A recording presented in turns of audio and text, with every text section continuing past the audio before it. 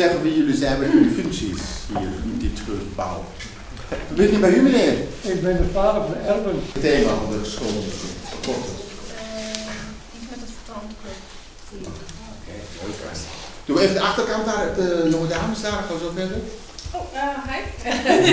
ik ben Sam, ik ben 21. Eh, ik heb een MBO acteur eh, afgerond vorig jaar. Eh, ik heb vorig jaar nog een uh, harmonie gespeeld, dat was eh, ook heel erg benieuwd. Erwin, jij Ja. gaat meespelen in de Freule. Jazeker. Welke rol ga jij vertolken? Ehm, ik ga de jonge Gerrit doen. eh, Oké. spelen. En hoe ben je er zo bij gekomen om eh, mee te spelen in de Freule? Ja, ik zat eh, een keer in de kapper en toen dacht ik, ja, ik wil een keer weer iets doen. En ik dacht misschien leuk, omdat ik dan ook de groep 8 musical nog heb. Om, ja, ik, ik vind altijd acteren, acteren heel erg leuk.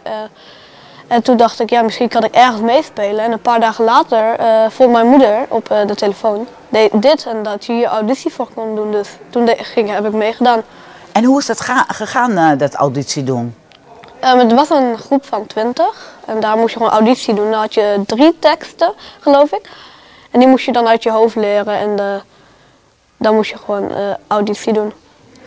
Vond je dat niet heel erg spannend? Eigenlijk wel, Ja, hè? Maar het is je wel gelukt. ja. En zo dadelijk ga je, sta jij in de steengroeven. Ja, zo dadelijk.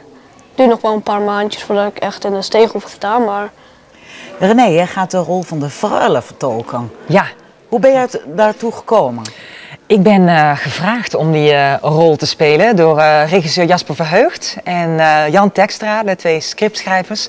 En ja, ik heb er ontzettend veel zin in om dat te gaan doen. Ja, dat geloof ik. Ja. En optreden in de steengroef in Winterswijk. Man, ik ben daar nu één keer geweest en ik kwam daar en ik vond het overweldigend hoe, hoe bijzonder en hoe, hoe groot en hoe mooi het was. Ja. En ik denk echt dat dat eh, een heel groot onderdeel gaat uitmaken van de beleving eh, van de voorstelling zometeen. Ja. Dat denk ik ook. Hmm. hey, maar hoe heb je op je rol eh, voorbereid? De rol van Judith Van Dort, ja. van Dort. Eh, ja, hoe heb ik me voorbereid? Nou ja, er is natuurlijk een heel mooi boek geschreven. Daar eh, eh, kan ik heel veel uithalen. Ehm, eh, er is natuurlijk heel veel informatie online over haar te vinden ook nog.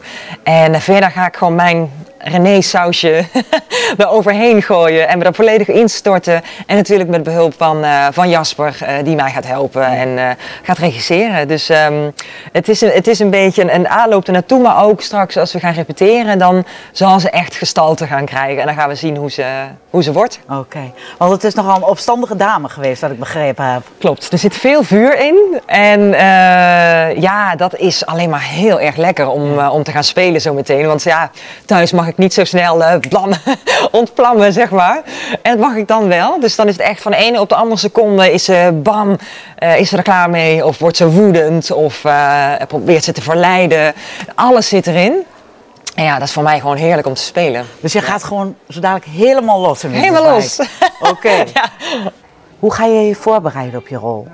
ja, ehm, vooral mijn echte moeder een beetje uitschelden. en ga je thuis lekker oefenen? Ja, Hey, heel veel successen, hè? ja, dank je. Eh, we gaan eh, in eh, juni vier weken repeteren met z'n allen, met eh, het ensemble, eh, orkest, de paarden, noem maar op. En dan eh, houden we even een zomerstop en dan eh, maken we ons klaar voor eh, de week inderdaad in augustus. Van 9 tot 13 augustus eh, zullen de voorstellingen zijn. Oké, en hoeveel eh, figuranten, eh Dat is een goede orkest, vraag. et cetera, hoeveel mensen eh, spelen mee aan die productie? Ik zou het eerlijk gezegd niet precies weten. Eh, dus dat, zou je, dat kan iemand anders je vast vertellen. Maar eh, het zijn er heel veel. En dan kunnen ook heel veel mensen komen kijken. Dus het wordt een, een groot spektakel. ja. Hoeveel avonden gaan jullie spelen? Vier, geloof ik. Maar ook dat weet ik. Is het vier?